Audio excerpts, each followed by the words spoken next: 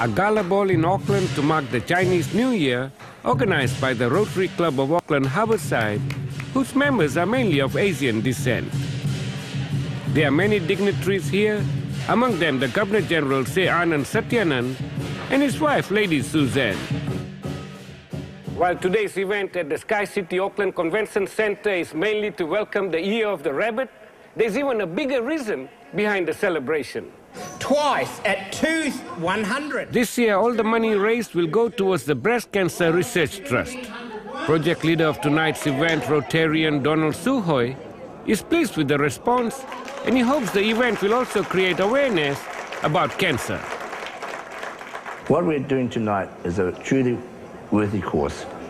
In fact, I was so taken by that, so many people who, are, who do not know enough about cancer.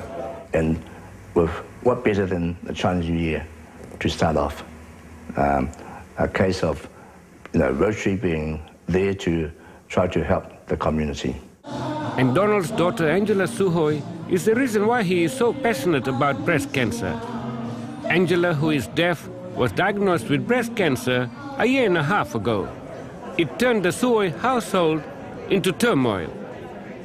It's, it's been a life-changing experience for, for me and for everybody involved.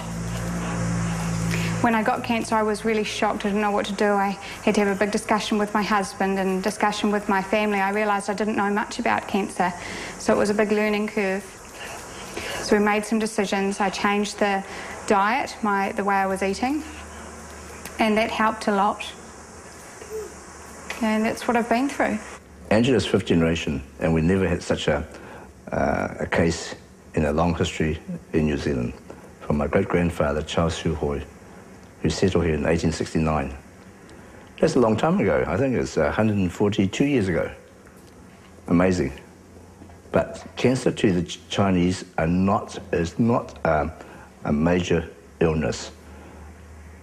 Unfortunately, until we settle in New Zealand, I suppose. We're very passionate with this particular fundraiser because we've been through an experience which we'd like to share with others and hope that they will learn. And as we were in such shock when found out that Angela had cancer. Since being diagnosed with breast cancer, Angela has had to have a mastectomy, hormone treatments, and six rounds of chemotherapy. Last November, she was told by her doctor she was doing well. Well, after going through cancer, I always felt that my family was right behind me. They, they really kept me going through the, through the difficult time of having cancer. They went to, went to the doctor's appointments with me and they made sure that I was eating, that I didn't forget to eat.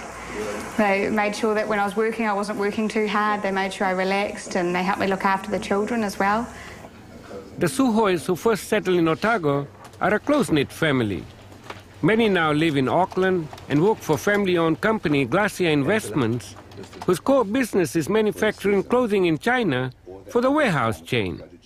Despite her disability, Angela has been a high achiever. She was the first deaf person in the country to graduate with a master's degree in business administration and now is Glacier's financial controller.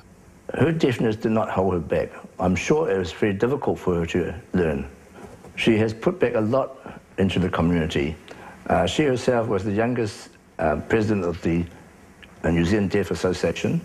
She's also successfully lobbied for sign language to become an official language of New Zealand and now wants to make more people, including the deaf community, aware about cancer. Well, in New Zealand, there's still groups of people. I think the public generally are aware, but there are still groups of people that aren't aware. So I've been making a DVD in New Zealand Sign Language for the deaf community because there's still a few deaf people that don't really know much about cancer, so it's making them aware early of the signs and what their treatment options are. Because if you leave it too late, cancer is a killer. Back at the gala ball, the dance band is rocking and the donations are flowing. I can't tell you how much it means to the, the researchers and the scientists that are working uh, for the Trust to have this sort of support from everyone. It's not just the money, but it's the emotional and physical support. It's fantastic. 425 and so Thank you, sir. Yeah, when I heard what my father was doing, I was very proud that he had decided to be involved in that. So I think it's wonderful. The event raised more than $40,000 with most of the proceeds going towards the Breast Cancer Research Trust.